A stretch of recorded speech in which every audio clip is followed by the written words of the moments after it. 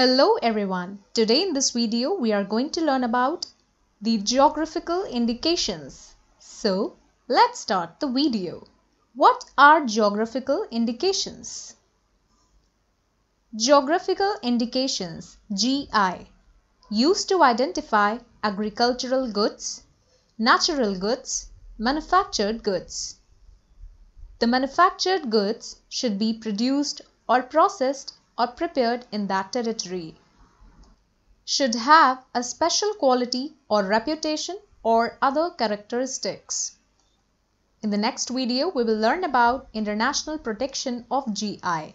So, stay tuned.